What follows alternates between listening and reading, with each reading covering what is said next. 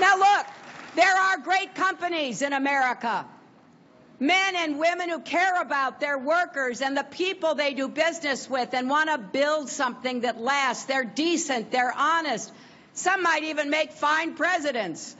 They would never dream of acting like Donald Trump. In America, we don't begrudge people being successful. That's part of the American dream. But we do if they get rich by destroying other people in the process.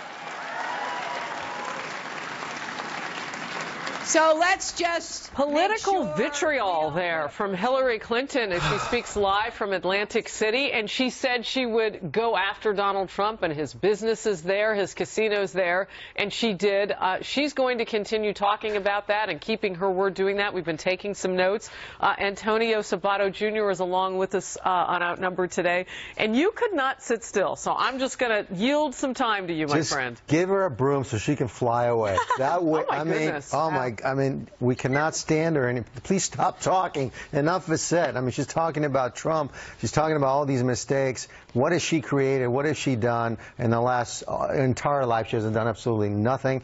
Uh, I can't stand her talk anymore. And I think the American people have to wake up. Donald Trump is the only way. This November, let's vote for Donald Trump and get this country back on track. So we know how you feel about yes. Donald Trump, yes. Meghan McCain. I, am actually wondering how well this plays because this is an old tune that everyone knows. Uh, his controversies, I'm far from a businesswoman, so I don't know the details of it, but this is things people already know. This has been public knowledge for a long time, Trump University. I just don't know if this talking point flies. It's a distraction right now from everything that's going on with her and, you know, the director of the FBI. But I think this is low-hanging fruit, and I think she's got to hit a lot harder if she wants this to make an impact against Trump. So, you know, it's interesting.